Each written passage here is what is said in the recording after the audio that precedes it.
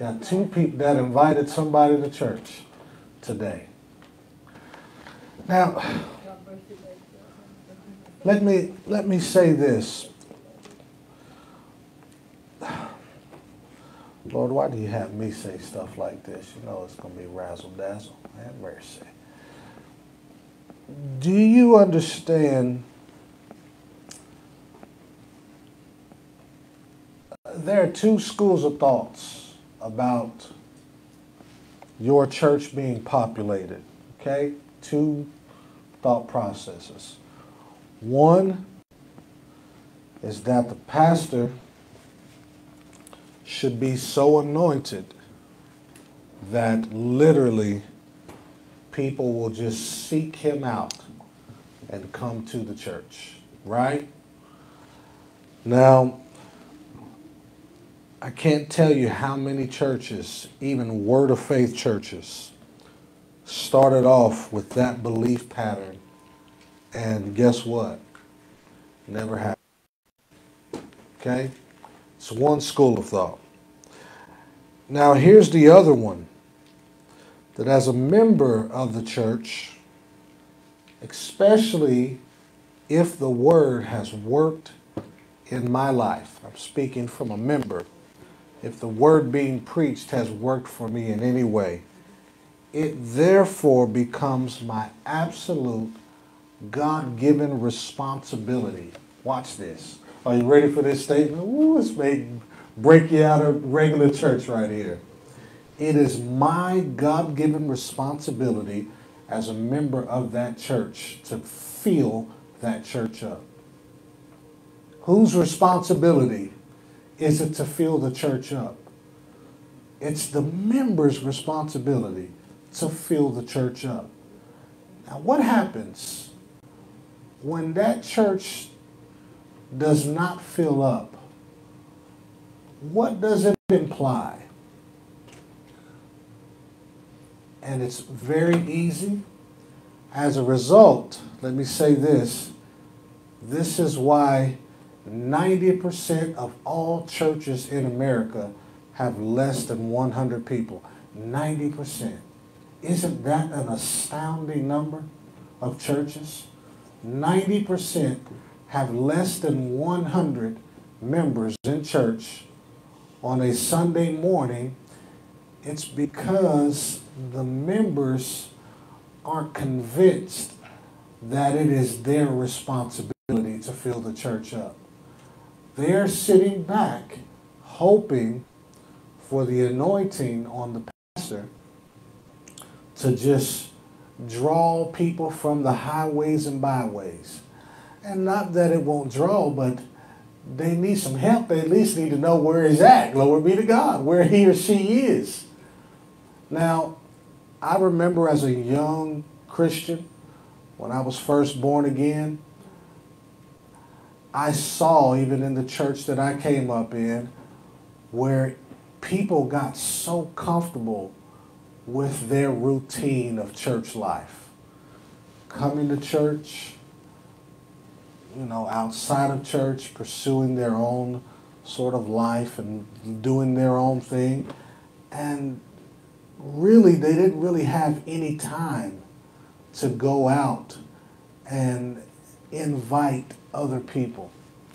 Uh, there was also the case where I think that a lot of those people they really didn't want to they really didn't want other people coming into the church messing up their their comfortable church club you know? Like hey i don't want to be bothered. Go find your church somewhere else. I don't want to be bothered. No no no saints.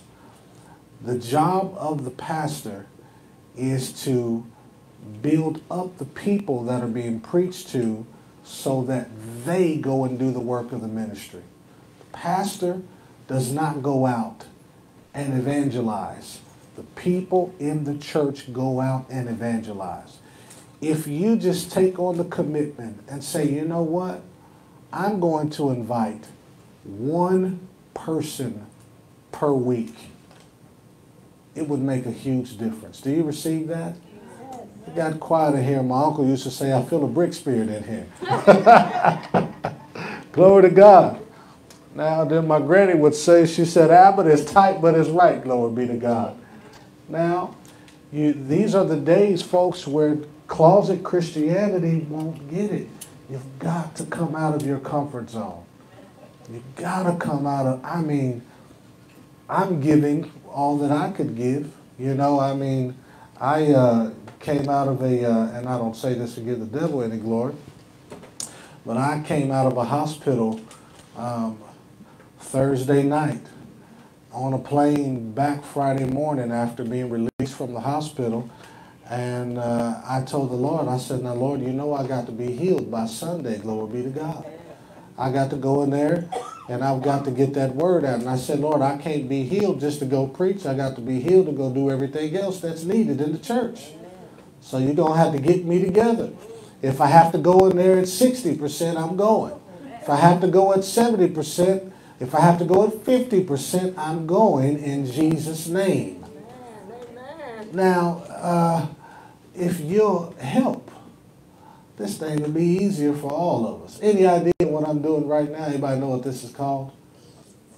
You know what this, what's this called? House cleaning. Glory be to God. Have mercy. These are some adjustments that we want to be mindful of making. So next Sunday, I'm going to ask the same question. Hey, who invited somebody to church this week? And I'm just prophesying right now in Jesus' name everybody is going to have their hand raised. Say, Glory to God, I invited somebody. Can you receive that today? Come on, give the Lord praise. Now, I was inviting people to in church environments where we didn't know any better back in those days, and where people were being told that you don't know if you can, if you can actually make it to heaven. That uh, God wasn't concerned about any other area of your life but you living right and making it to heaven. That's the only thing he was concerned about. And I invited a ton of people to environments like that. I really did. I mean, I, I was, I've always been good at going out, witnessing and bringing people in, uh, but I just can't do that anymore. I need those of you that are receiving to help. Do you receive that? Yeah. Let me ask a question. Has anybody's life been enriched at all since you've been hearing this word? Has anybody been blessed? Now I fulfilled, that means I did my job. When you going to do yours? Your job is to go out and spread it, Lord be to God. Go out there and get them. You go, that doesn't mean you go ask one and they say no. Guess what? Go ask the next one. Go ask the next one. I guarantee you they are out there. I was uh, came to church in an Uber last week and uh, the individual that was bringing me in the Uber, in the Uber said, um, I was just, you know, sensitive, listening to the Holy Spirit because even though I'm pastoring, I'm always just my life in my personal life, I'm just always open to share the gospel and the good news and witness to people. Does anybody live, have you gotten to that point yet? It's difficult, ain't it? It's, it's difficult to come. I mean, when I'm out and when I'm in airports, you know, Ubers all over the country, I'm still sensitive that I am a representative of the kingdom of God. And that people around me are lost and, and they don't know the Lord and people are hurting. At any rate, I'm in the Uber and um, I'm talking to the guy and I look for any icebreaker I could get in the conversation. And I talk about things typically that are relevant to me. In that particular case, uh, we were talking about um, something as it relates to work. And I began to share, he asked me what I did for work. And I shared that, uh, that I was in business. The Lord gave me that. Glory be to God. Shared that uh, I'm on the way to church. And you know what this individual did? All of a sudden, he breaks down crying. Breaks down crying. And begins to tell me a story that he died. That he was in a, um, had a accident on the job and went in the hospital. They gave him too much pain medicine and it killed him for four minutes. And then he finally came back and he said, Since then, I've never been able to sleep at night. I can't sleep at night. I'm scared. And then he said, And then I wonder, God, why wasn't I good enough for you to go ahead and take me? Why did you leave me here in this wretched planet? Now you see, this person is hurting. This person needs answers. So the door is open. Well, glory be to God. I said, you know what?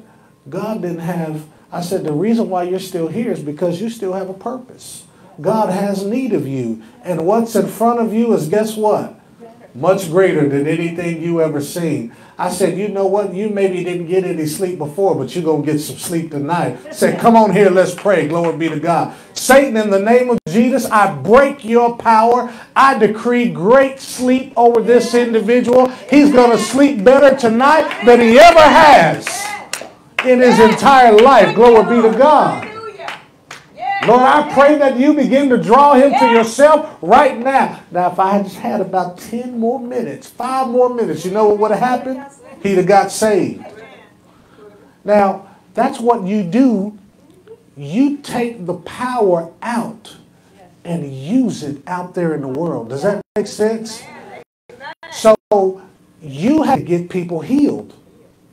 Christ through you. Did you know you can lay hands on somebody to get healed? When's the last time you laid your hands on somebody to get healed? A stranger.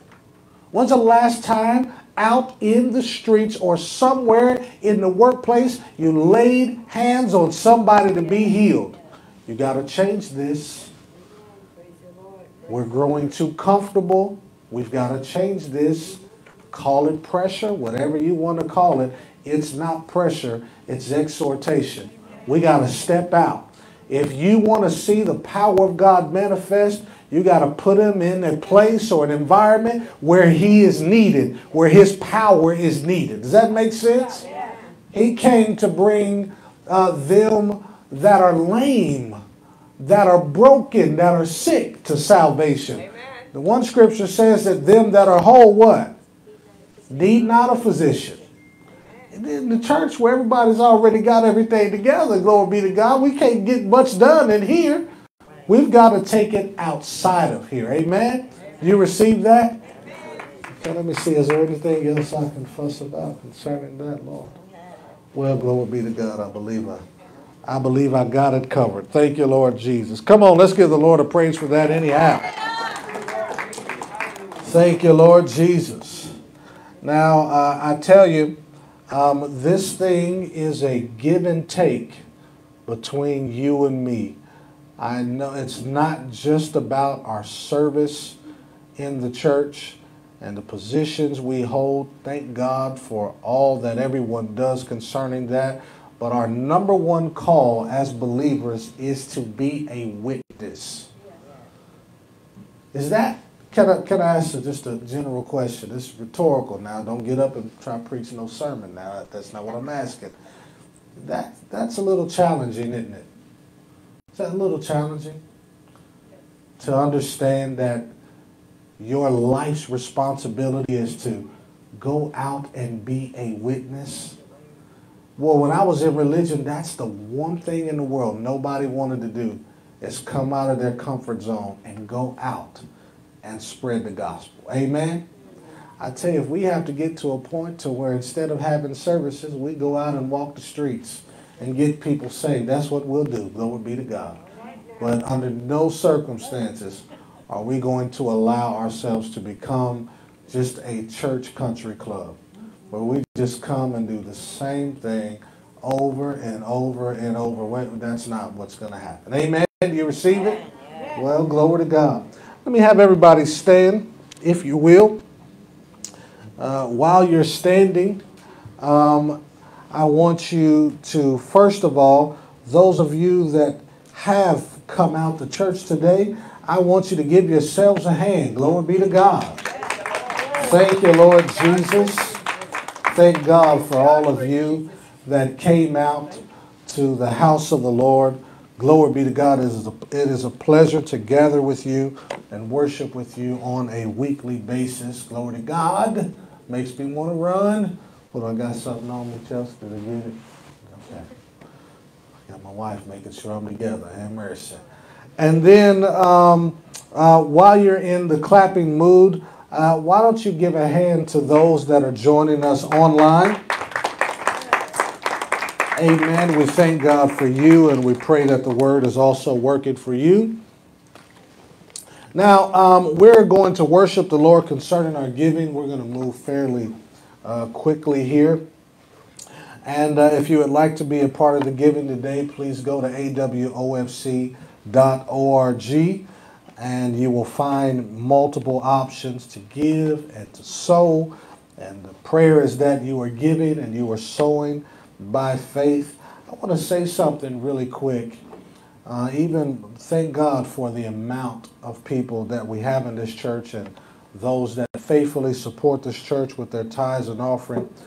But if you, if I can just mention outside of protocol, how how we are doing financially as a ministry.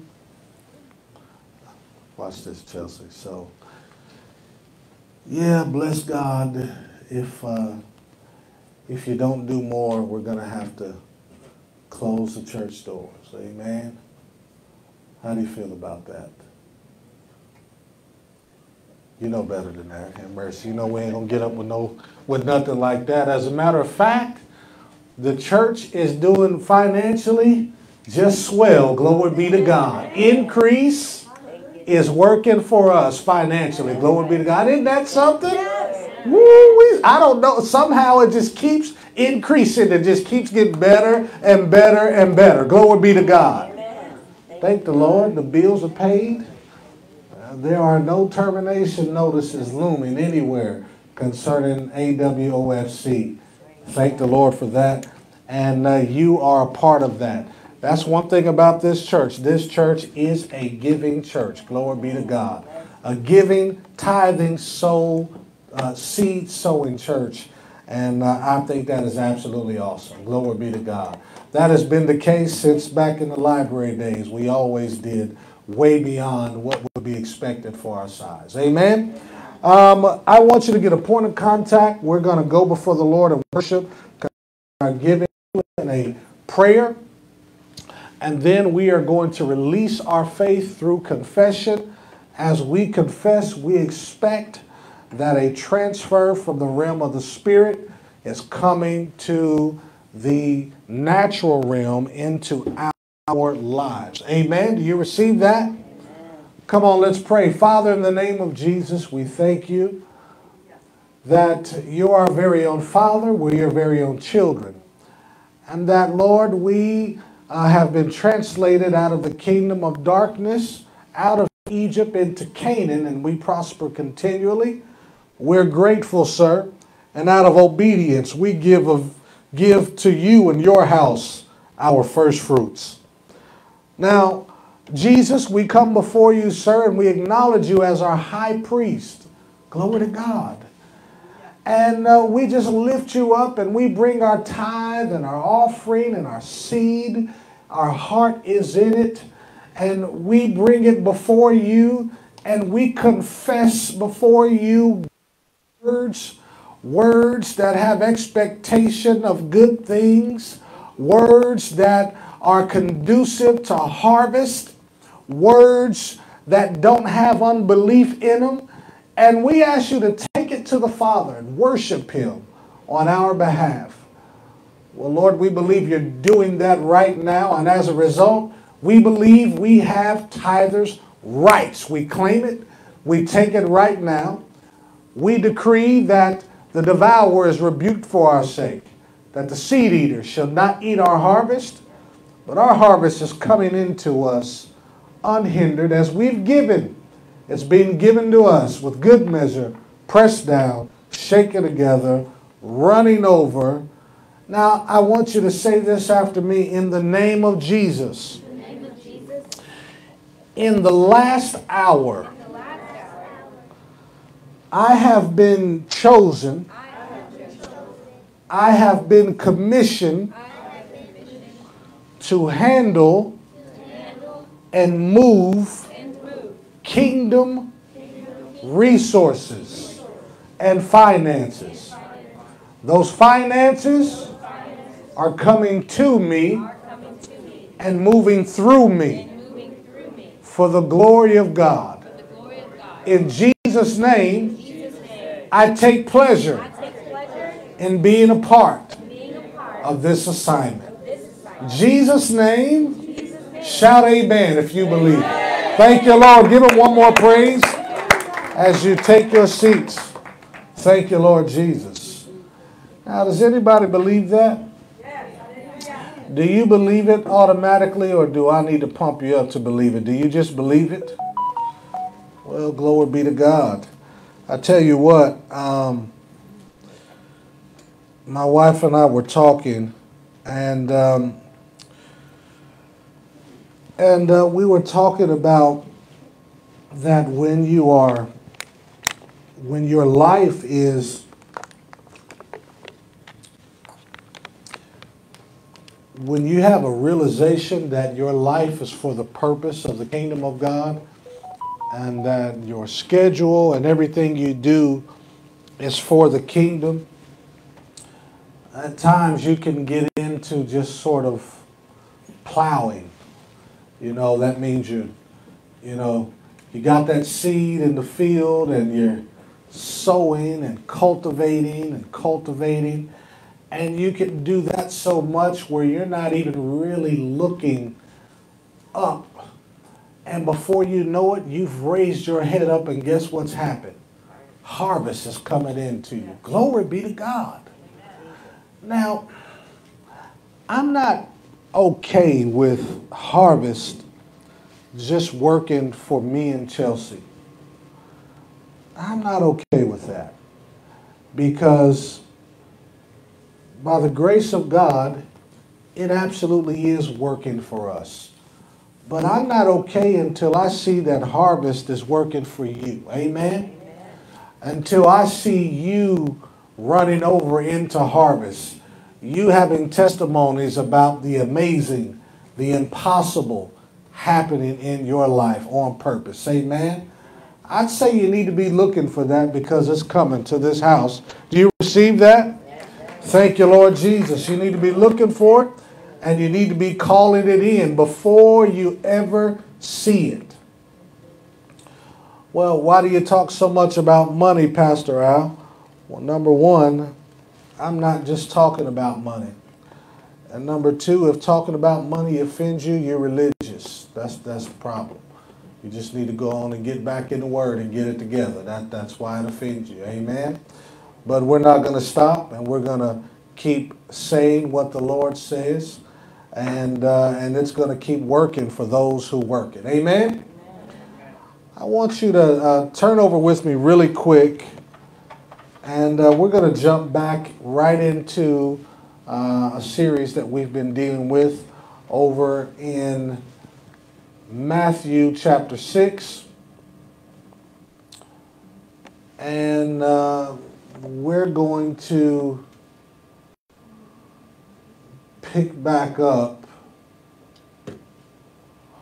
in verse 8. Matthew chapter 6, verse 8.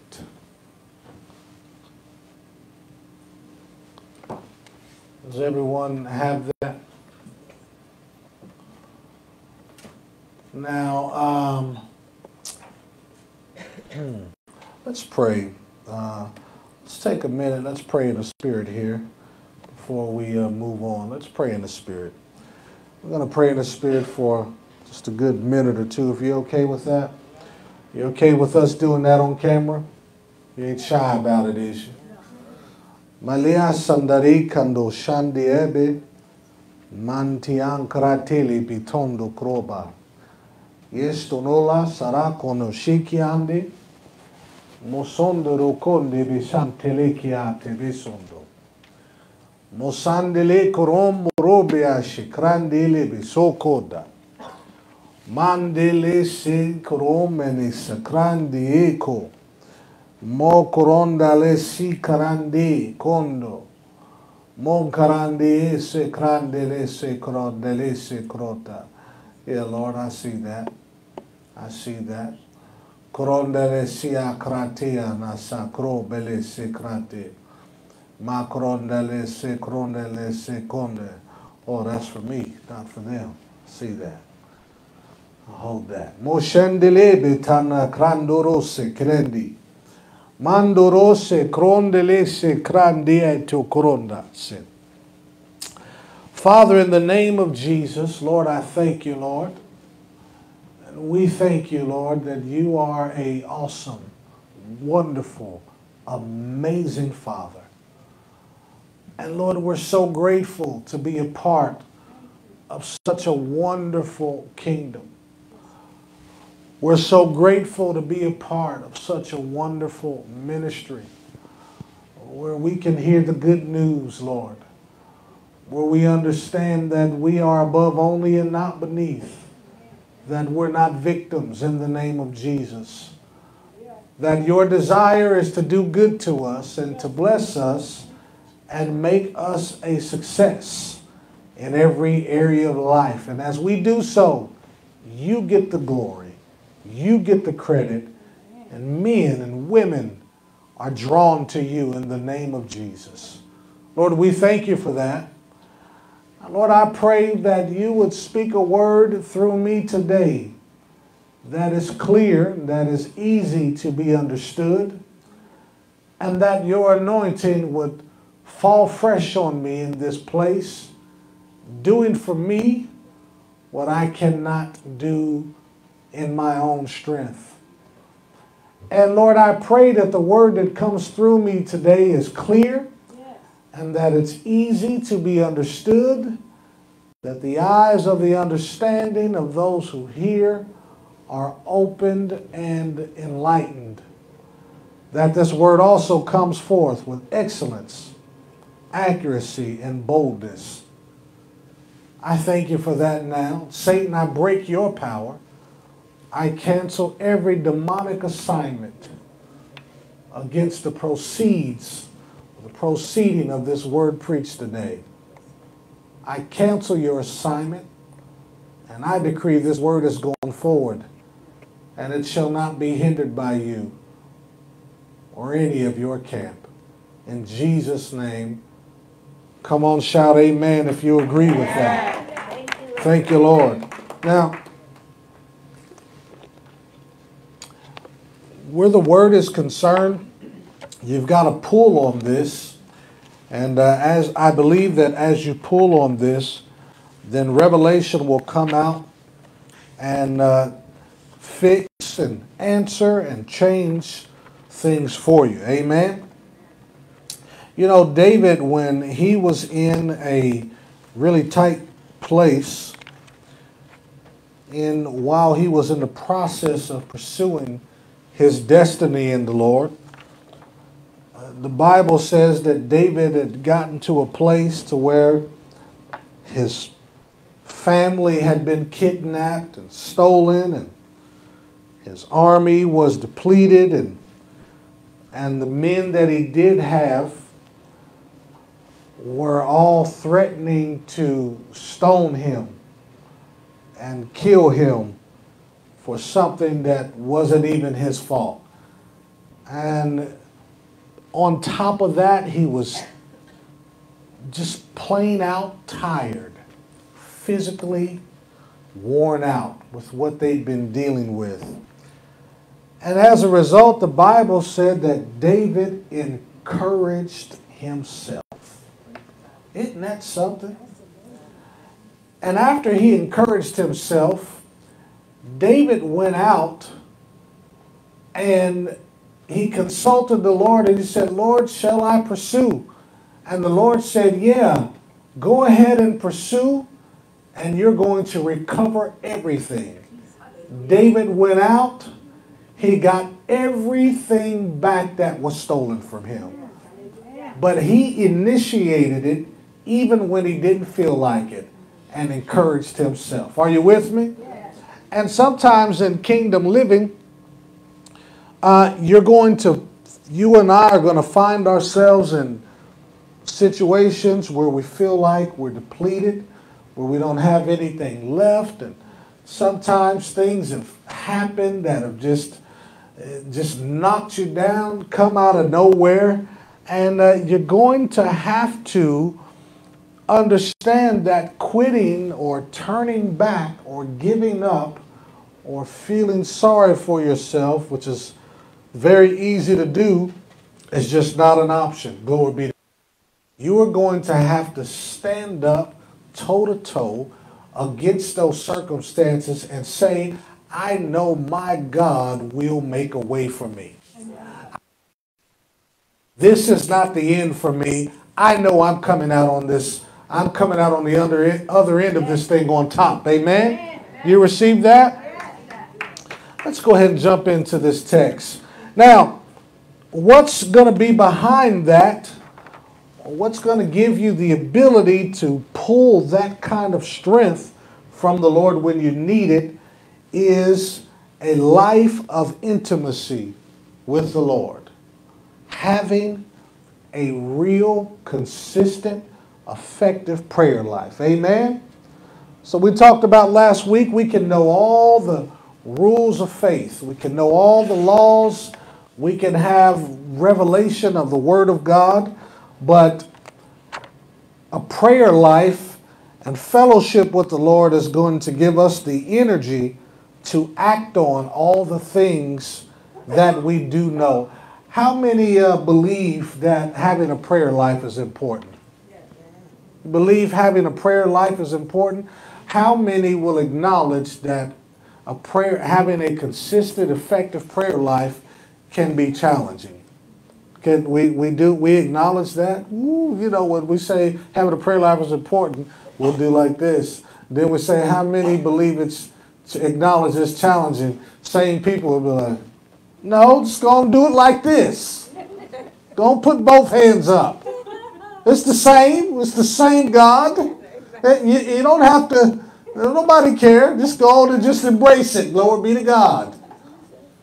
Now, it may be challenging, but it is absolutely necessary. And in this church, we're going to get it. We're going to lick this thing, glory be to God. We're going to keep on preaching it until we walk in it. We just came out of love. When we finished that love series, people are walking in love more now than they were before we started that series. And it's going to be the same way. We're going to be praying more as we come out of this series. Amen? Now, uh, in Matthew chapter 6, this is still a part of the year of divine assistance the Lord showing us how to get results that are beyond what we can do, how to cooperate with Him and get results. Amen. Now, uh, look at verse 8, and we'll pick up right there. And I see my clock moving on me now. Jesus, according to Matthew, makes this statement. He says, be not ye therefore like unto them, for your Father knoweth what things you have need of before you ask him. So the idea here is of people praying, first of all, to a father. Now, in the Jewish culture at this time, God was not known as Father. God to the Jews at this time was known as God. There was no sort of intimacy as it related to as it relates to relationship whereby in their thinking in any context they would have related to God as Father. He was God. He was uh, Jehovah. Okay? But he certainly wasn't Father. So when Jesus is going around talking uh, about God as though uh, he is his father, people were a little offended by that. Man, that was different. You know, what do you mean? Like, what, what are you talking about? A just totally separated, far away God in the sky that is all powerful, yes, but anything closer to that where we would dare refer to him as Father is a little blasphemous. You understand? So the Jews were a religious people. Okay? Now, Jesus talking to the disciples, explaining to them that, hey, as a result of my death and eventually my resurrection, things are going to be different for, for you guys as it relates to God. You are going to be interacting with God as though He is your very own Father. That's, that was a big, big deal. Now, He says here that when you interact with Him, you need to understand this that He already knows what you have need of before you ever ask Him. Here's what He's dealing with He was explaining to them that they have a covenant with the Father. Okay? Now, what is a covenant? Covenant is an agreement between two parties, and each partner in the covenant has sworn to fulfill their portion of the covenant to the covenant partner. Does that make sense? Let me get uh, some help with this. Let me get Brother Cam, if you wouldn't mind to come up and help me, and Brother Ishmael, why don't you come up here and help me? Hopefully, uh, you'll be able to keep uh, the people awake. Glory be to God with this little demonstration here. Have mercy. If you want to stand right there, sir, and you stand right there if you don't mind. Now, when a covenant agreement was made, two people, and I'm going to give you the short version of this. Turn that light on over there if you don't mind. Let there be light. Glory to God. And uh, it'll come on. Two people would make an agreement and uh, it was based on strengths and weaknesses. This covenant partner had a strength, but he also had a weakness. This covenant partner had a strength, and he also had a weakness. So a covenant would allow two people to come together so that together there would be no weaknesses. That the other one would cancel out the weakness of the other covenant partner. Now, in this particular case, Jesus is saying that as a result of my death and my resurrection, there is now going to be a covenant between God and man. And he's telling the disciples that you're going to need to pull on that covenant. That even though that covenant will be in place, that covenant is going to require you to receive the benefits of it by faith. Not working hard for it, not begging for it, not beating yourself up. And that's the balance that we always got to watch, particularly in faith living, but being so immersed in the reality of what's already yours that you are so convinced of how real it is that you'll begin to say things mm. as though what you're saying is absolutely going to come to pass. That you'll begin to talk as though certain things already belong to you and you'll expect them. Now, he says that these uh, hypocrites here or these religious people, they don't understand that. So, not their praying or their prayer doesn't have an understanding of any covenant talk right here. And uh, they don't have a covenant, all right? So there's not really a real expectation for God to provide whatever they're needing. So they're just going through the motions.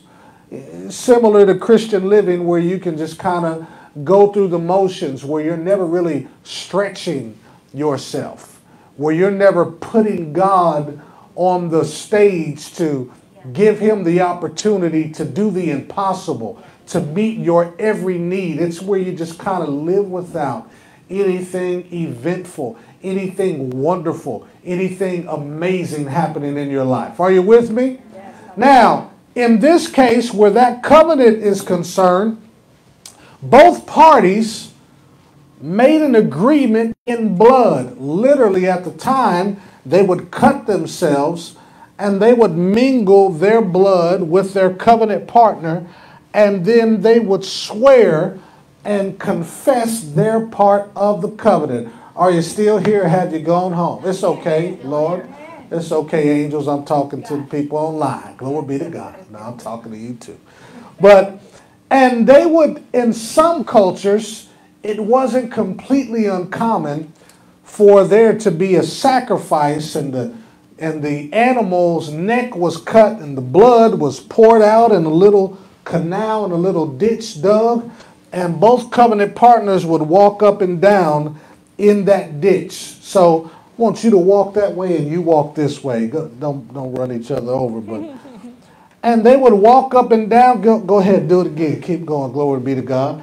And they would be walking up and down in that ditch and they would be declaring that's good their part of their covenant fulfillment to their covenant partner so this one would be walking up and down and saying i swear watch this upon the penalty of death that I will fulfill my covenant obligation to provide financially for my covenant partner.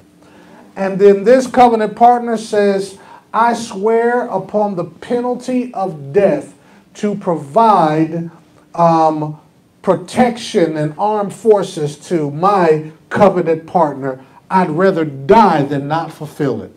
This was the covenant. Now, Jesus is telling the disciples that when you pray, pray as though you are aware that you have a covenant with a partner who has sworn to fulfill all the things you need. Yeah. He has committed to and has already sworn to it. And as a matter of fact, he is absolutely desperate to fulfill it. But yet, you're still going to need prayer to receive it. Isn't that interesting? Isn't it interesting that it will not just automatically happen? I guess if it would just automatically happen, we all be on easy street, like Brother Hagin would say. Wouldn't you prefer? Can, can I just? Can you get honest in church? Wouldn't you just prefer that it worked that way? Wouldn't you just prefer that it would just, Lord, okay, I'm saved rain down. You know that I'm in need. Isn't it a misunderstanding in this area that could cause a person to be like, Lord, I'm living for you. I'm a Christian and I'm living right. And yet you know that I need this. You saw in the video, the woman said, Lord, you know that I want to be married and I want a husband. Why haven't you given it to me yet? See, she was under the impression, she mentioned that, Lord, maybe you have abandoned me. Well, that's totally against the character of God because as a covenant individual, he has swore to fulfill his portion of the covenant to his covenant partner. Glory be to God. Everything that you have need of, he has already provided and checked yes that you can have it. Amen. Are you with me? Amen. Now, Jesus is instructing the disciples in this way to let this inform their prayer life. Can you imagine to those people at that time how huge and amazing that concept would have been? Can you imagine to those people, this would have been the first time anybody in all of existence in terms of societal living would have ever heard of the possibility of such benefits actually belonging to them on purpose and now being instructed to pray being mindful of that. So that means when I go pray, I'm not actually going to inform God only about my need I'm actually now legally taking something that already belongs to me and I'm presenting it before the court and I'm saying, hey, I am filing a, pet- a petition so that I can receive my legal inheritance concerning this. And the believer is instructed to do that in the form of prayer. Are you with me so far? Amen. Are you still here or have you gone home? Did I get too wordy? Did I did I lose you? Are, are you right sure you're still here? Well, glory to God. Now watch this. can you take a little bit more? Can you stand up here a little bit longer? You can handle this? So as long as you're here, they're gonna stay awake. So as long as y'all stand up here, they're they're gonna be focused. Now watch this. Now, your father knows what you need before you what? Why in the world are you needing to ask him? Because spiritual law is in place. Nothing transfers from heaven to your life without faith. Are you with me? Faith is an assurance or total convincing or an awareness or a discovery of one's benefits. I'm aware of the benefits that I have. Letter in the mail telling me that there was a check for $1,300 waiting on me down at downtown office in Suite B. I got that letter, so I am now aware of it. I am convinced that it's real, and now I am going to receive it. I'm not going to the office to ask if I can have my $1,300. I'm going to find out, hey, what do I need to do to receive what's already mine? Are you with me? Now, faith is being assured of what belongs to you, and then faith is released. Am I getting too deep for you right here? Quite possibly. Let me, let me make it even plainer. Faith then needs to be released out of your mouth so that it goes into the spirit realm and releases what belongs to you into your life. So then, if this is done through prayer, then that means prayer is not silent. Are you hearing me? Prayer is not silent. Prayer is not in my head. In order for faith to be involved, then one writer says, We believed and therefore what? He said, They believed and therefore they spoke. He said, We having the same spirit of faith or the same operation of faith believe, and therefore we speak. Faith is not operational until it is released by words. So, a prayer life that is not used with audible words is a prayer life that is going to be void of faith. It's going to affect your results. You've got to get comfortable with talking out loud when you pray. Your words have power, they are, they are vibrational, they transcend the material realm, and they are laws. Are you with me? So I can't just be going around praying in my head. Watch this what I'm praying in my head.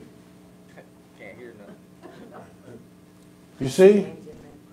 When I first came into faith and I found out that I needed to pray out loud, when I first heard of the word of faith, I was in prison, and I felt like it was the most ridiculous thing on the planet. It really upset me. Like, how in the world? Like, Ben, if the man is God, why can't he hear me in my mind if he's really God? And I had to keep going back to that word, and it honestly took me some time to accept that and get my mind renewed to the reality that faith and what I pray must come out of my mouth. Are you with me so far? Amen. I encourage you to do the same thing. As I look back now, I'm like, how could I ever have thought any different? My goodness. Now, it doesn't mean your prayer have to be all loud, screaming on the rooftop, because he just told these people that they think they'll be heard by vain repetition, saying pointless words out loud over and over as though that will cause them to be heard. That's not what this is about. As a matter of fact, this kind of prayer is done in private. Are you with me? Now, look at verse 9. I got to move from that. I could stay on that verse for 20 minutes more. But let's move. Verse 9. After this manner, you that have a covenant, and you that understand to receive from that covenant you're going to have to make an informed, audible request. I want you to repeat this after me. Say, I understand. I understand that to receive from heaven, that to receive from heaven, I must make, I must make an educated, an educated, informed, informed, audible audible request request or verbal request. or verbal. Did you get that? Yes. Do you understand that? In order to receive from heaven, this would be the same thing for the children. The children, you want a new, you want to, you're approaching the age where you want a car, you know your mama can't afford the car. Then if you want to receive the car from heaven, then you need to make a verbal request out of your mouth that is educated. Where does the education come from? Somewhere you needed to find out that God is, has given you the car. And where are you going to find that out at? You're going to find that out in the mouth of the preacher. You're going to find that out in the, in the written word of God. Are you with me? Amen. Now, look at verse 9. Now, here's what I want you to do. I want um, I want you both to have a seat on that front row somewhere, wherever you can you can make it, because I'm going to need you in a second. Now, watch this. You can move that over if you need to a little bit. Now, look at verse 9. After this manner, let's turn the heat down just a tiny bit. After this manner, what he's telling the disciples. Therefore, pray ye. Now, folks, what he's talking about right here is not in reference to a repeating of what is known as the Lord's Prayer. Has anyone ever heard of the Lord's Prayer in here? Come on, let's say it together. Our Father, who art in heaven, hallowed be thy name. Thy kingdom come, thy will be done on earth as it is in heaven. Give us this day our daily bread. Forgive us this our debts as we forgive our debtors. Lead us not in temptation, but deliver us from evil. For thine is the kingdom, power, and the glory forever.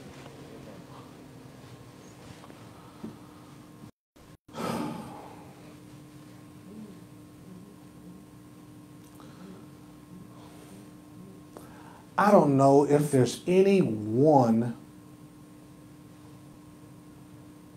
text in the Bible committed to memory by the people of the earth and Christian people that has absolutely no power coming out of it for the people that are it. I mean, in my spirit, man, there is almost a righteous indignation concerning the fact that all these millions of people that can quote that, that text have absolutely no idea what it means. They're not getting any of the benefits. I'm, I'm, I'm abhorred uh, at all the movies made of what we just quoted. Almost disgusted at how it's been used.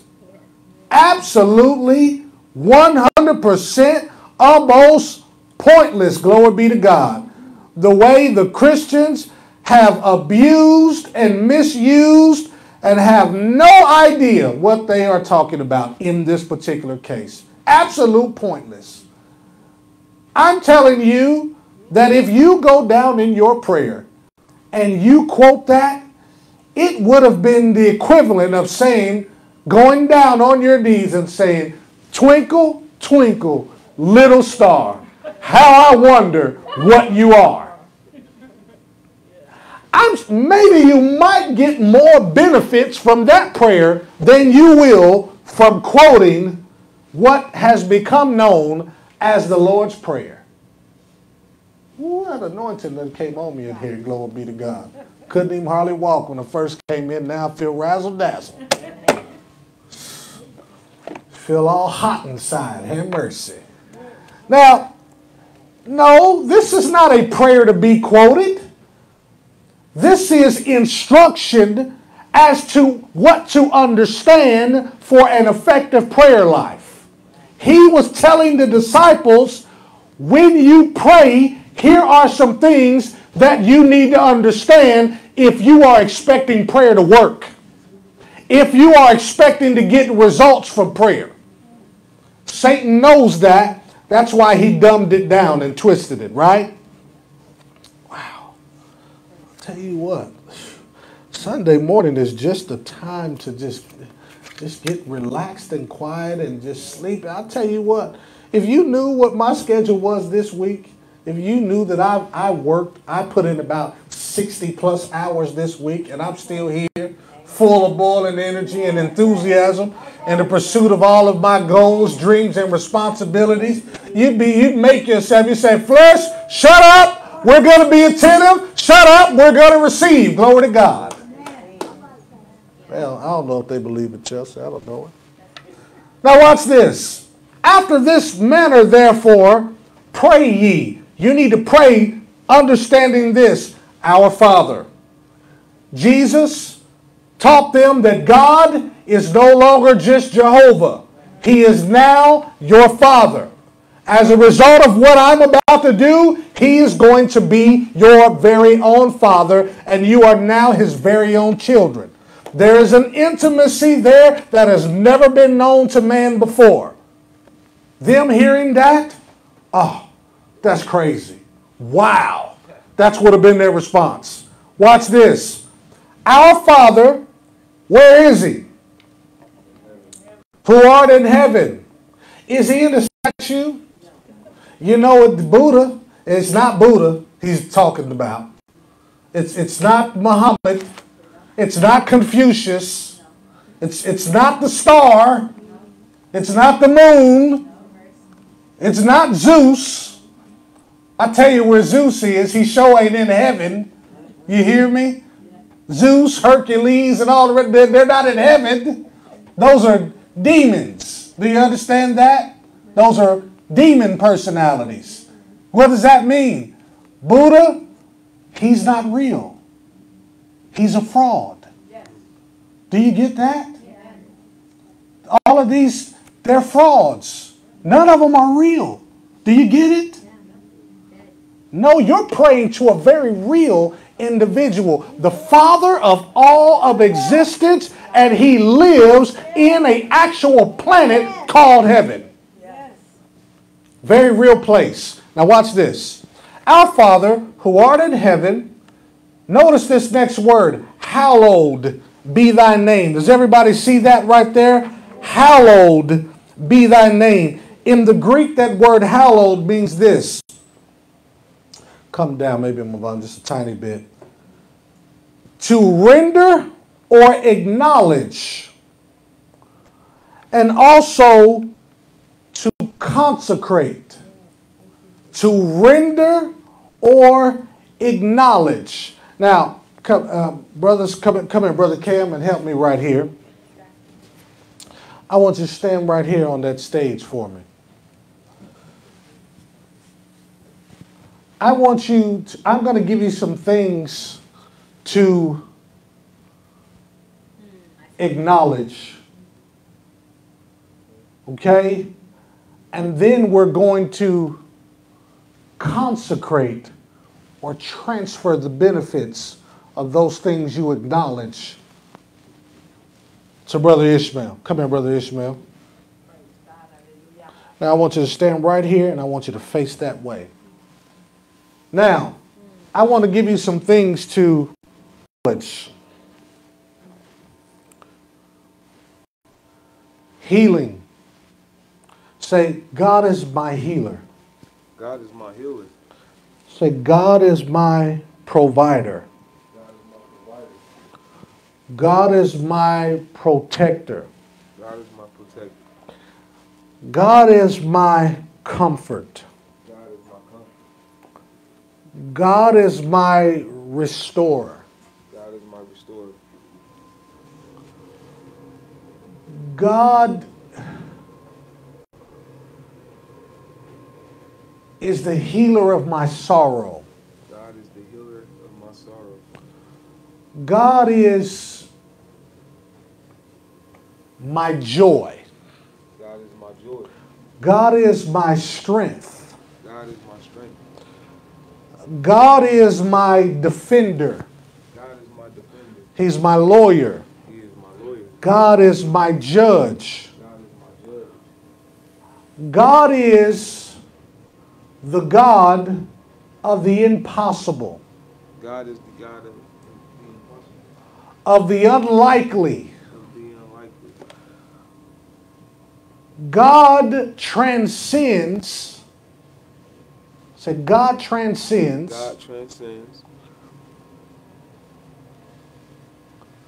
natural natural impossibilities. Now, understand what I'm doing here. I'm quoting different attributes or different things that God did in the Old Testament for his people. These are all things that God did in the Old Covenant for his people. Are you with me? And there are many more. But when Jesus is telling the disciples right here that now hallowed, see, every time God did something for his people, there was a name he attached to it in a lot of cases. Names like Jehovah what? Jehovah Jireh. My what? My provider. Jehovah Nissi. And so forth and so on. Well, Jesus is telling these disciples that now, as a result of my death and my resurrection, hallowed or consecrated or transferred are all the benefits that God ever gave to mankind over to you. They now all belong to you. Every benefit that God ever gave to man through all of existence now belong to you. In your life now, your covenant includes God as your protector, as your healer, as your comfort, as your financier, as your doctor, as your lawyer. Do you see that? Now he says, have faith in that. Use your faith concerning this. Pray understanding that those benefits are already yours. When you go to prayer, understand, ask based off of knowing that everything you need or want already belongs to you. Hallowed be thy name. Do you receive that? Can you imagine that, my brother? Hallowed be the name to you. Whatever it is that you're needing, or that you're lacking, or that you want, or that is incomplete, you don't need to stress it because hallowed be the name that covers all of those benefits belong to you. All- if you don't have it, it's because you're not asking. You're not receiving it by faith. You're going to need a prayer life for this. Now, can you see why Satan will fight so hard to keep you from prayer? He will fight to keep you. What can Satan do with somebody that, do you know everything that God did in the Old Testament? He was having to do it to fight off Satan's advances. Yes. When, when the Battle of Jericho was taking place, God is performing supernatural miracles so that the Jews can advance and take over territory. And Satan is doing everything he can to resist it. Well, the same thing is happening right now. Amen. All of the benefits of God have been given to you because Satan is trying to resist every good thing that you do. Do you understand that? So he's got to keep you disconnected from the power source. because he knows that this name won't do anything for you if it stays up here in heaven. Speaking of that, look at the next verse in that same verse or verse 10. Now, thy kingdom come. Now, let, let me let me do this. Um, let me do, Mama Gracie, will you come up here and help me? For I need some of that some of that anointing to rub off in the building. Glory be to God. Such such diligence right here. Glory be to God. Prayed both of her sons into a right relationship with the Lord. Have mercy. Tell me God ain't working miracles. Have mercy. Come up here, Mama Gracie. Now, she's representing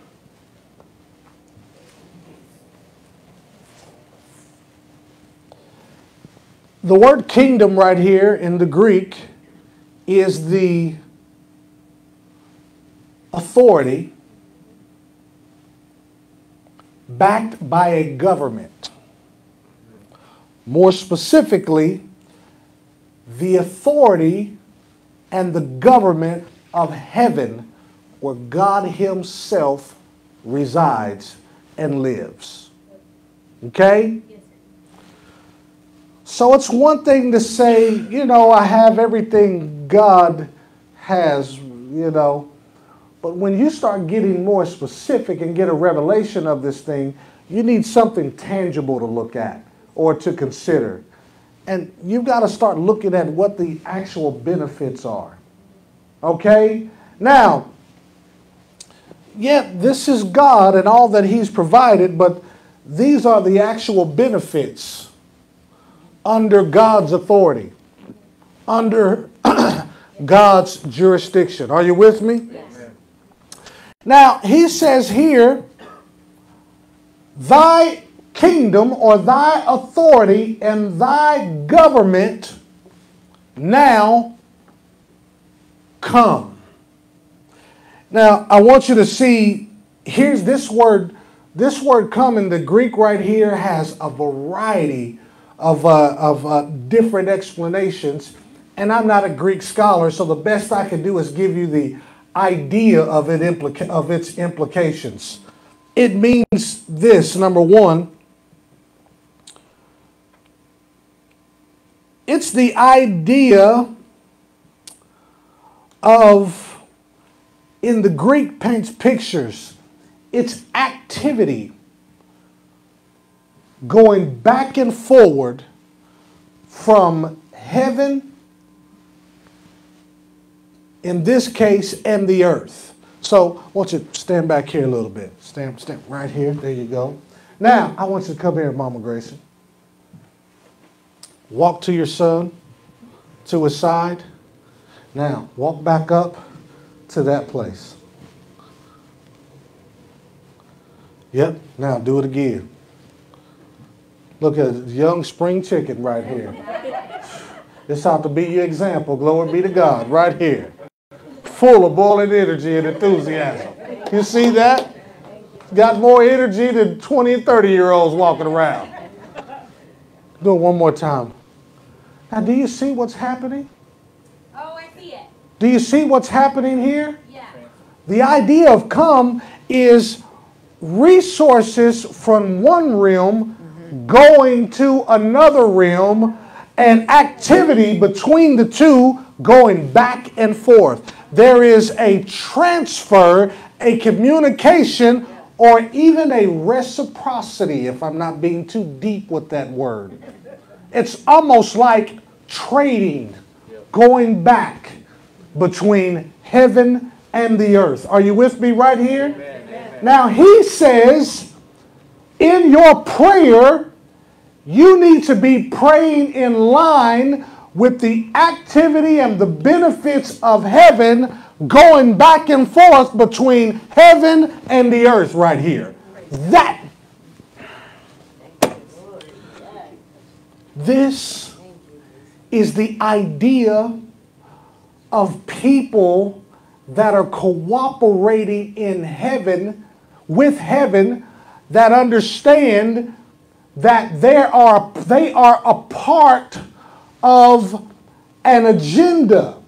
They are a part of an assignment.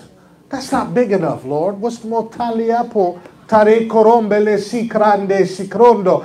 That they are officers and ambassadors of heaven that are transferring benefits from between heaven and the earth. This is not the individual that is living life in survival mode. This is a person that understands that I'm higher than that. That I'm, I'm like, it's like, you know, how can I, you, you know, Lord, I, I- come out of the streets, so I, I, I don't know where to compare it to, but th- this is like, this is like a person that, you know, you, you went from, uh, you went from uh, selling, uh, you know, hustling on the corner uh, to now you got 10 trap houses, glory be to God. And uh, trap houses all over the place, and, and the product is being ran even while you sleep, glory be to God. It's a bigger operation. Do you understand that? This is the mentality of operation that Jesus is wanting the disciples to understand where prayer is concerned because now prayer is actual warfare. We're getting things done in prayer that are being done from a supernatural standpoint that can't be done any other way.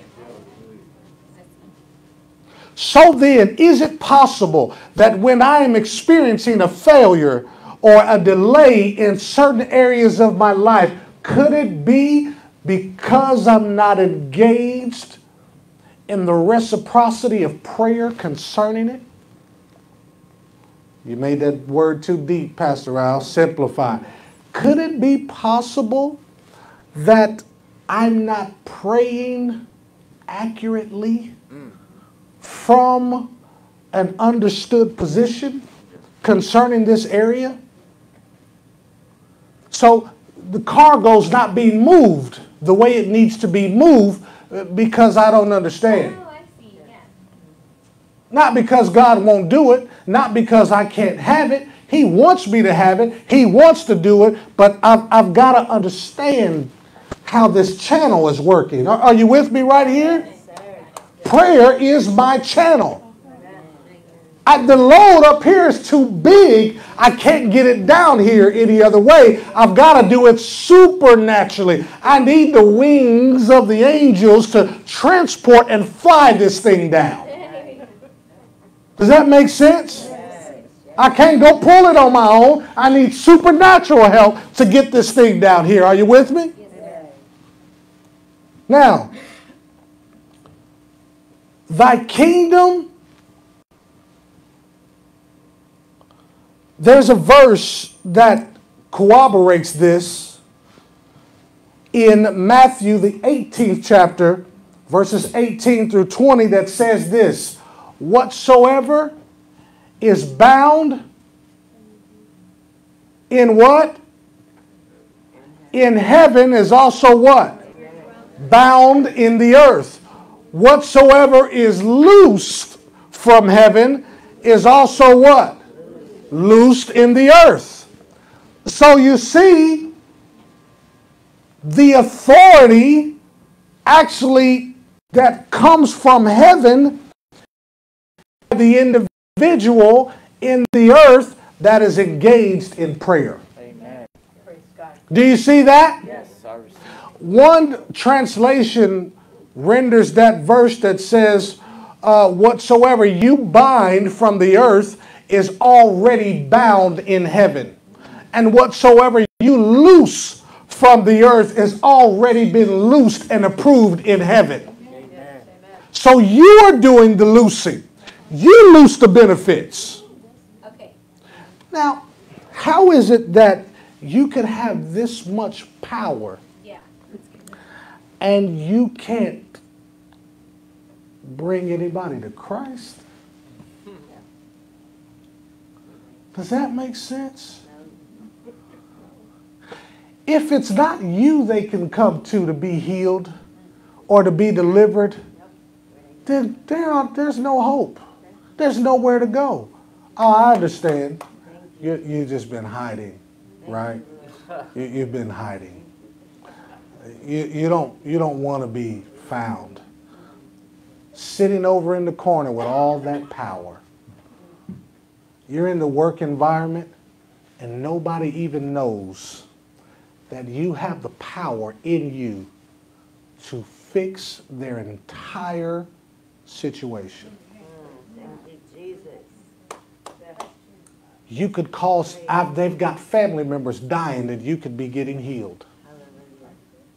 They're on, they're people on their way to hell, and you're hiding in a corner because you don't want to be uncomfortable or inconvenience. You're self absorbed. Do you see that? Condemnation will play a part in that. Condemnation sometimes is really connected to pride because you're so concerned about you and where you're missing it that you can't focus on anything else. You feel so insufficient that you're so focused on you that you can't move past you to help somebody else. We're going to break that in the name of Jesus. That's no longer going to be the case in this church. Glory be to God. You are not going to be walking out of here with the insecure, insecure, secure, insecure mentality and inferiority complex, not believing that you have the power inside of you to go and move mountains on purpose.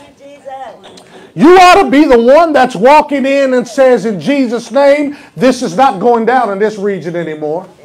Not in my neighborhood. I break the power of what's going on in this neighborhood in Jesus' name. Devil, dry it up. I want the drugs gone now. I want the prostitution away from my block.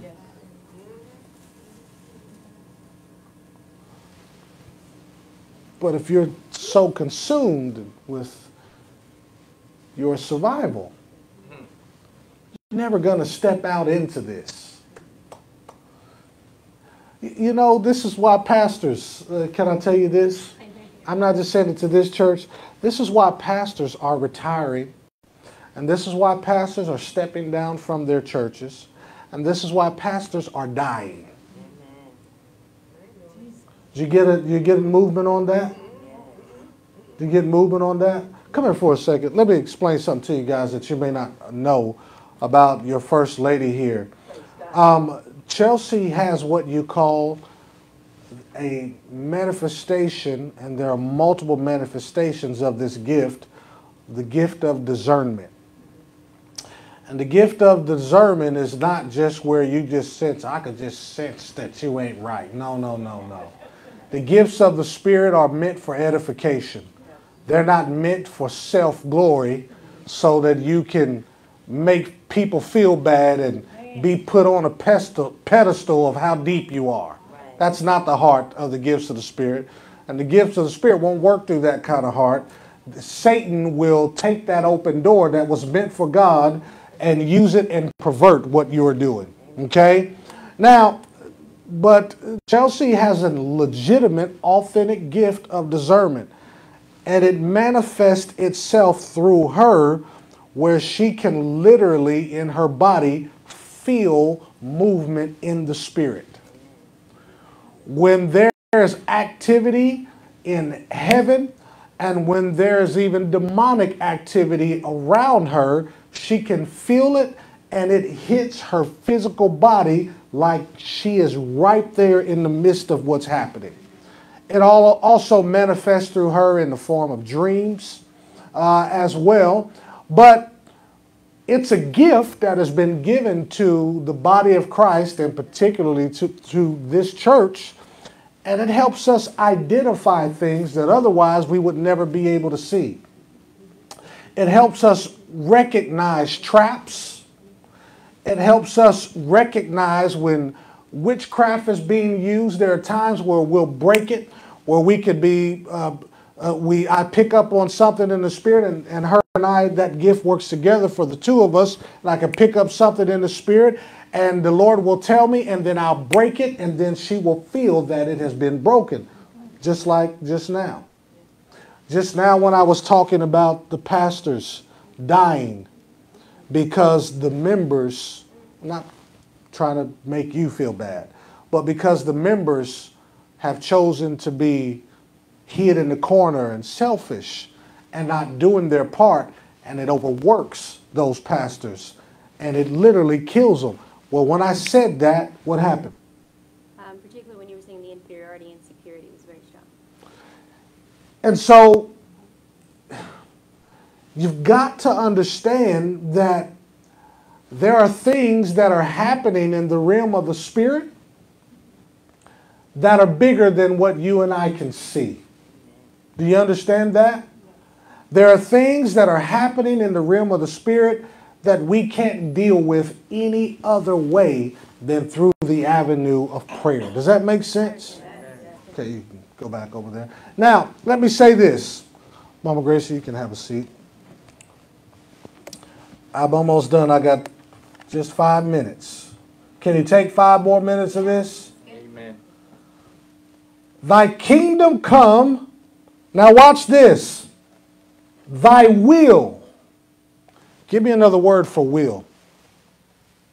Just in your own opinion. I will, I would say. If I say, man, um, I will for you to come after dinner with me after church. Will, your desire. Desire. Want. My agenda. Now, in this case, a will, when you see this word will in the Bible, guys, it's referring to what a person desires or wants that was already previously recorded, already previously established. So, concerning the kingdom and its government and its benefits, the prayer here or the mindset Jesus is telling these folks to have is this that that agenda of God and what he wants being done in the earth. Thy will, the want, the desire, what has already been established and predetermined in earth being done down here. Do you see that? Now watch this. Is there any sickness in heaven? Why? Why is there no sickness in heaven? Because he doesn't want it.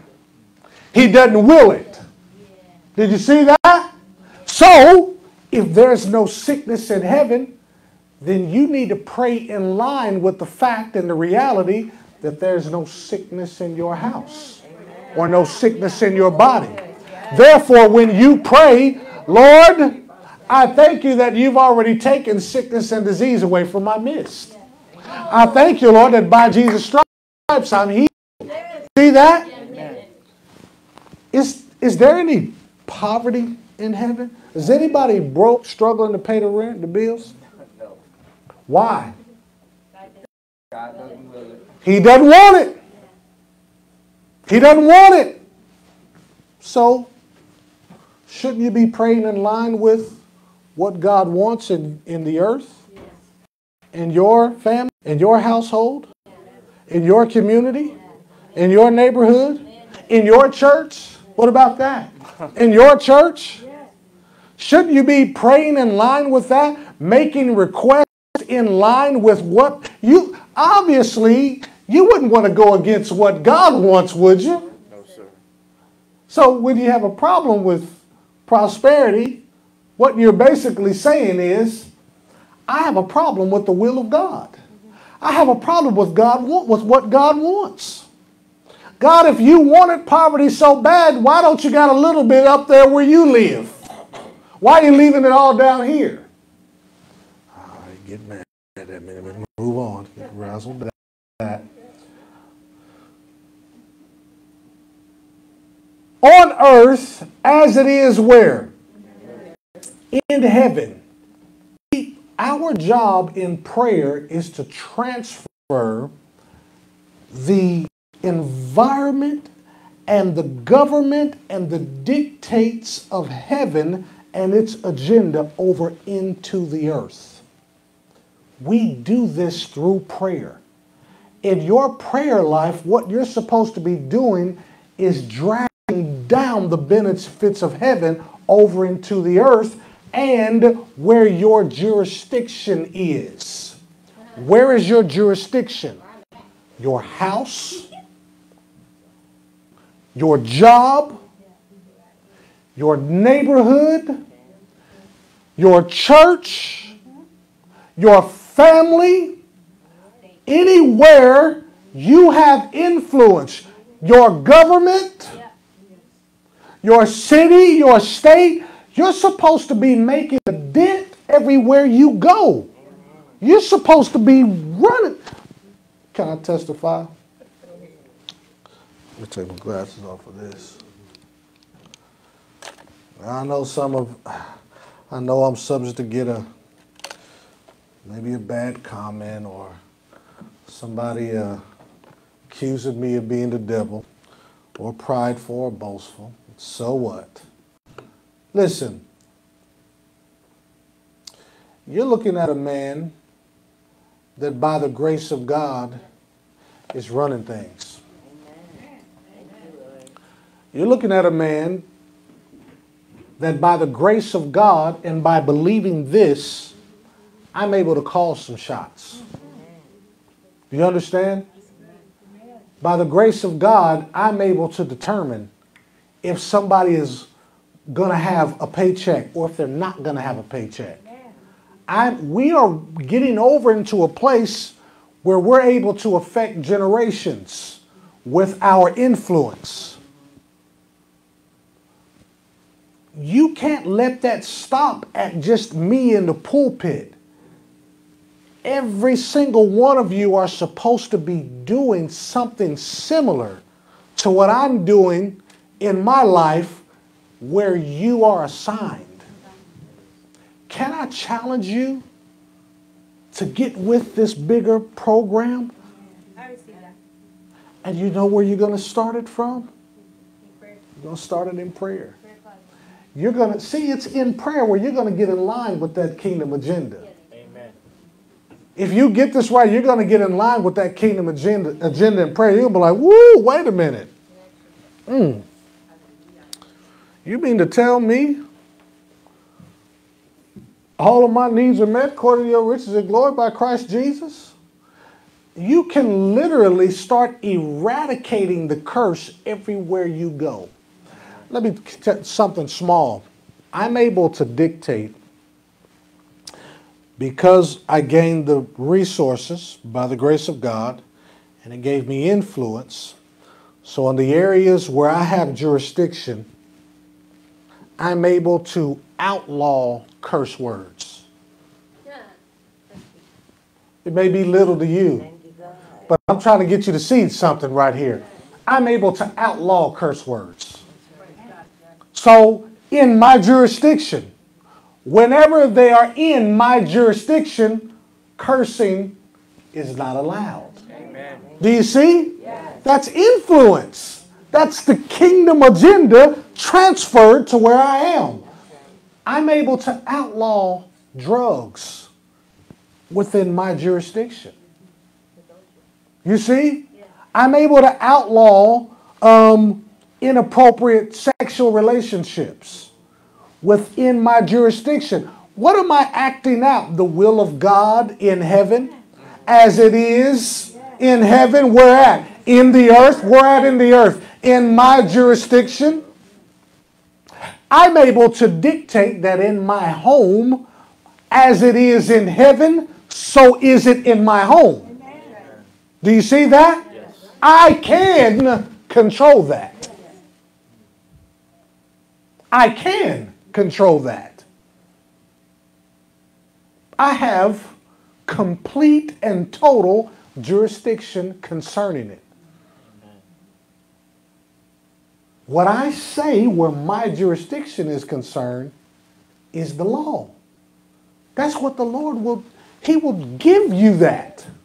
Wherever your jurisdiction is, glory be to God. Are you seeing this? Oh, fighting. Fighting to get this out. Is the will of God as it is in heaven being activated in your life and in your jurisdiction? If it's not, the place you got to start is in prayer. Jesus, this whole thing in this Lord's Prayer is instructing them on how to what? How to pray concerning the transfer of these things. Do you see that? This is prayer. These are things that prayer will do. You can't faith over these, folks. You can't just confess over this. You can't. Do you understand that word of faith, people? Yes. You can't faith over this. Your faith will not work without this part. You need both of these working together. There have been times, man, to where I have caught myself in literally toil trying to do this and trying to do that. And particularly at one particular time where the Lord said, Al, you're doing everything right naturally, but you're not praying concerning these things like you should. So the power release from heaven is not flooding towards you like it should. Made that adjustment in prayer, changed everything. Life, this faith life, is not designed to be lived or navigated without an effective, viable, consistent, powerful prayer life. Does that make sense? It's not designed to work that way. Now, in this last text, let me say this verse 10, and we'll close out right here, or verse 11. And I want you to all to read this with me on the count of three. One, two, three, read. Give us this day our daily bread. Woo-wee. What do you think about that? Give us this day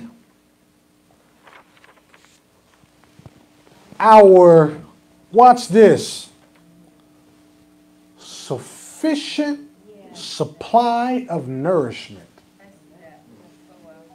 daily. You need a daily sufficient supply of spiritual nourishment, and that only comes through prayer. Amen. Listen, have you ever tried to successfully live this faith life without prayer? I have. No use you see, I have. That's not not that I don't do it, that I didn't do any prayer at all, but I mean praying the way we're talking about right here. Praying from an understanding of the authority of heaven and praying daily that way. Daily that way. Jesse Duplantis told a story, and I don't want to quote it wrong, but he told a story about how one day he got into a situation where um, I believe this was the one where he uh, somebody something happened by his house and he had to pull his gun out and uh, almost shot a man. This is after he was well-known, successful Jesse Duplantis. Actually, not even that long ago, and I believe he said one of the reasons, one of the things he learned is that day he went throughout his day without first receiving his daily bread. What does that mean? What did he neglect to do that day? Pray. Caused the man to almost kill somebody, destroy his life, murder somebody else, And can you imagine the impact that would have had on the body of Christ? You're looking at one of the most successful men that maybe the planet has ever known in ministry. Just by neglecting prayer. Prayer, let me introduce something to you in this church going forward. I wish it was an easier way. But, folks, prayer must be daily. Do you receive that? I receive it. Are we ready to make that adjustment? Amen. It's got to be daily, folks. Amen. Now, you'll have to forgive yourself. Here's what I want you to do. Do you go a day and you miss prayer. You know what I want you to do? Repent. How do you do it? Lord, I repent for missing prayer today. I call it unrighteousness. I know that it's not okay. And I know that I'm not intended to live without it. Forgive me and cleanse me from the unrighteousness associated right now. And here's what you're going to say to keep you out of condemnation. Are you ready? I believe I receive my forgiveness right now. And you get back up and you know what you do? You get back in prayer the next day. You miss it the next day. You know what you do? Lord, forgive me, cleanse me. From you miss it five days in a row. Don't do this. Well, I done missed it so much, man. It's, clearly, I got a bigger problem. Ain't no use of praying now. I ain't prayed in three weeks. No, no, no, no, no, no. That's foolish.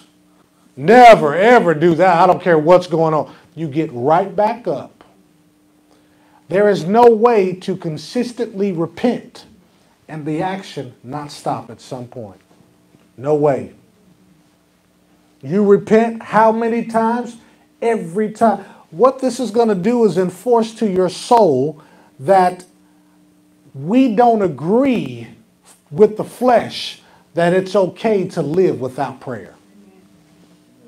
We want to reaffirm that we cannot be successful in this life without daily prayer. The Bible says men are to always pray and what? And not faint. You're not supposed to faint concerning prayer. You could be doing everything else. You could be witnessing, you could be tithing, you could be sowing seed, you could be going to church, you could be making your confessions, you could be believing God, you could be even listening to the word every day. But if you leave this prayer part out, you got a big gaping hole in your armor right here. Those of you, there are those of you that pray in the spirit here. Is that correct? Do I understand that right? Amen. Brother Victor, pull up really quick as we close out here 1 Corinthians 14 chapter, verse 4. Everybody standing, if you will. 1 Corinthians chapter 14, verse 4.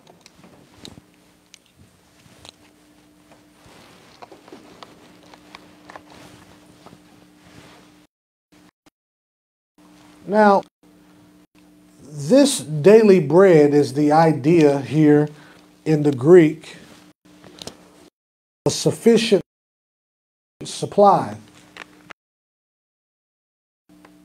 A sufficient supply of a spiritual nature. This is not physical. Prayer, right here in this case, is not transferring per se the amount of money you need for today or that, that's not what's going on.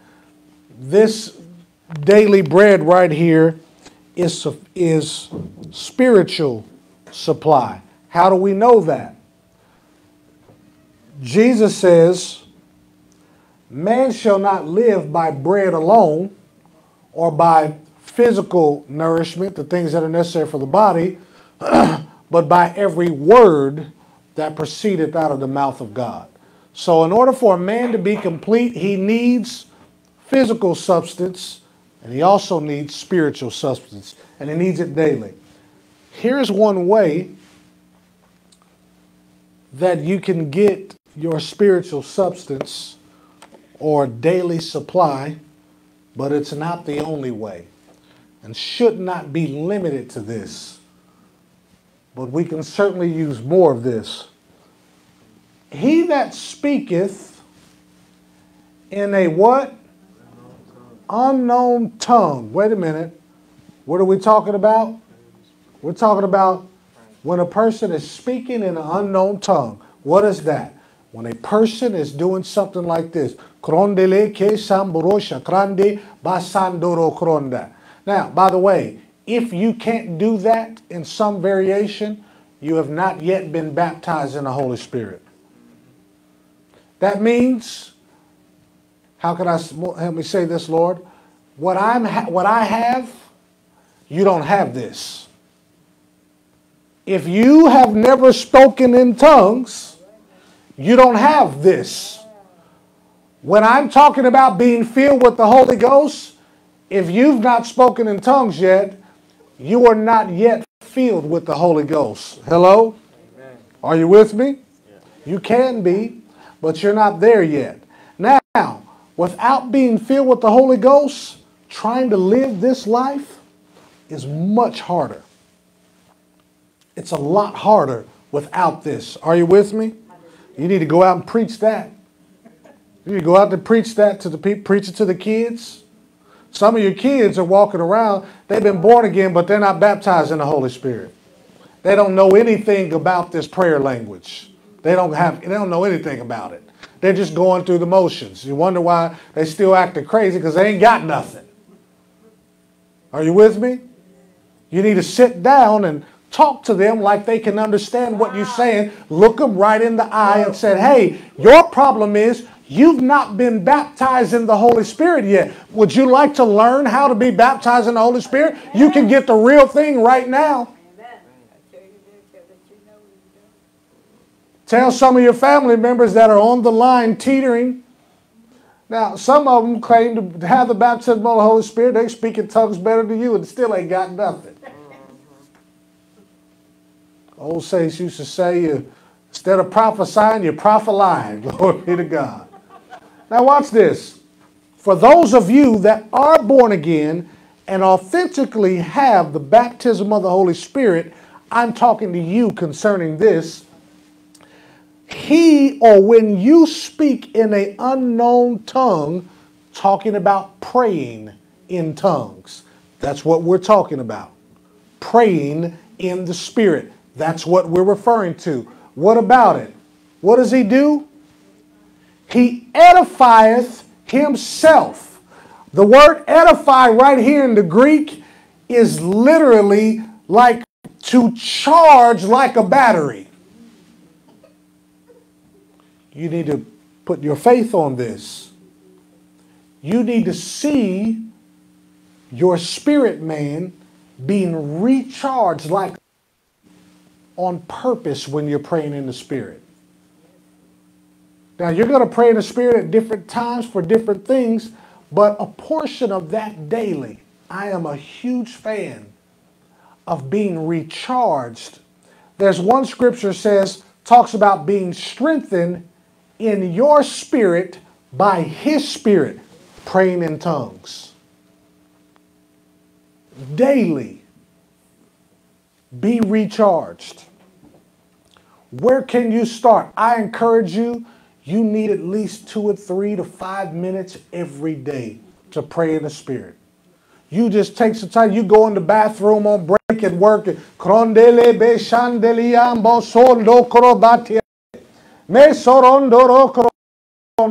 when you get done, you say this Lord, I believe I receive strength in my spirit by your Spirit. I take it now. Thank you, Lord, that I'm edified. And it'll work. Do you hear me? It'll work just like that. Believe you receive it just like that. He edifieth himself, but he that prophesieth edifieth the church. Talking about in the actual service. We're not going to get into the doctrine of that right now. But daily, I want you to begin on purpose now with faith. You don't just pray in tongues when you feel a touch from the Lord. Folks, those of you online, I know there's a lot of church people that that I'm connected to that watch these videos online as well. Uh, I need to inform you of this. You don't wait to feel a touch to pray in tongues. You pray in tongues on purpose. On purpose. So you're going to start going out daily and you're going to pray knowing that you are receiving your daily supply of the Spirit by praying in tongues. You- Do you get that? Come on, give the Lord a praise. Hallelujah. Praise God. Hallelujah. Thank you, Lord Particularly at Jesus. times where there are times where you don't even know what to pray, man. You're just so locked up emotionally. Has anybody ever been there? Woo, you're just so locked up emotionally you can't make sense out of nothing. That's a perfect time to pray in the spirit. When you start feeling say, hey, I don't know what to pray, but kondele se shati bandoroso kronde kata. Lord, I believe I receive exactly what I prayed in the spirit. I have it now. Lord, thank you for interpretation of what I prayed in the spirit. I take that too. Amen. Glory to God. One of the best ways to untangle your emotions, when Chelsea and I were first um, delivered and we were married, and we started, you know, just because you saved and married, it don't mean you ain't gonna have no problems anymore. You do, you understand that, right? The same beef is gonna present itself. And before, man, I just couldn't deal with it. I would just fly off. I'm angry. I may try to disappear for two, three days or whatever. But when I would feel it and I would get so overwhelmed, I learned to start doing this. I would just go to the side or walk or just start praying to Spirit.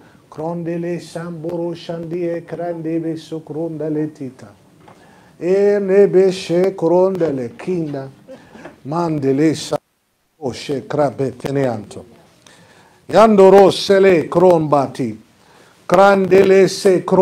samboronde shankanende. And as I would start doing that, you know what would happen? The Lord would begin to quicken ideas and answers right inside my heart. Seemed like a download. And it would be like a download that I could receive and that I could accept, and then my emotions would start coming back to normal. You see what I mean? Where I couldn't fathom letting it go or saying I'm sorry or admitting I was wrong, I couldn't do it naturally. When I would pray in the Spirit this way, it'd break that thing up off of me. Give me clarity about my situation. The daily supply of the Spirit. Now, sometimes you go through seasons. In my case, the Lord instructed me, not saying He's instructed you to do that way, do it this way. You better make sure you get it right before you try to copy what I'm, what I'm going to tell you right here. And the Lord told me through um, um, a wonderful source, the way He got it over to me, He said, Al, there are times where he said, particularly for people in ministry, where I have you in, where you're in certain seasons and you're being attacked on every hand. Things are being thrown at you from every direction.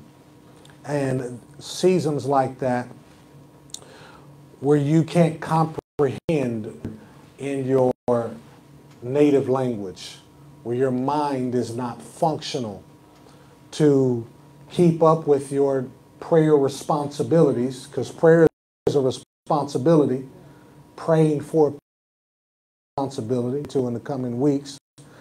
And at those times, Al, you need to come to me and then you need to ask me by faith to take over your prayer responsibilities. And that will allow you during that season to dedicate yourself to praying in the Spirit. So when I'm in that season, every day, all day, instead of my normal prayer structure, all I do is just pray in the Spirit. I pray in the Spirit, and I can sense a grace when I'm in that place because things open up and I'm able to have like a direct line of communication uh, with the Lord. And we are conversing about the areas of my heart and my life that are, that are really pressing and that I couldn't really hear any other way. And uh, particularly for those of you that are in entrepreneurship and in ministry, uh, especially if you're involved in, in both in that regard. Times where you're really intense and you're under pressure, a lot of pressure, that's when you need to be praying in the spirit. You're going through things that are that cause trauma and traumatic. You need to be really focused on praying in the spirit. And as you do that, the Lord will begin to unwind things in you. And then you'll know when it's time to transition back over to praying with your native tongue. Because prayer is not just praying in the spirit. One the writer said, Paul said, What then? I will pray with my understanding and without my understanding. Meaning I will pray in my native tongue and I will pray uh, in the spirit. Does that make sense? You're going to need both. Did you get something out of that today? Come on, let's give the Lord a praise. Praise God. Hallelujah. Did that make sense to you today? Wasn't too too high in the sky? You, you got that? Glory to God. Come on, let's worship the Lord for a second. Thank you, Lord Jesus. Hallelujah, God. We give you glory. Thank you, thank you, thank you. Oh, God, you do all things well. You do all things good. Oh, amazing, amazing is what you are. Thank you, Lord Jesus. Lord, we trust you. Lord, we honor you. We give you glory. Thank you, Lord Jesus. Mosandelia korombo, sandele tomo. Thank you, Lord Jesus. I, I want to open up the altar right now for anybody. If the Lord has spoken to you about, if you got a revelation of prayer today concerning this, and the Lord has dealt with you in your heart, come up and let me anoint you, and I'm and this thing is going to get you started off right. There's an anointing here that's going to cause that prayer to sustain. Come on up. Glory be to God. Get right here. Start that line right there in the name of Jesus. Start it softly. Thank you, Lord Jesus. This is not a condemnation line. Glory be to God. If you've got it, the Lord has dealt with you about the necessity of this kind of prayer life and opened up the eyes of your understanding concerning the warfare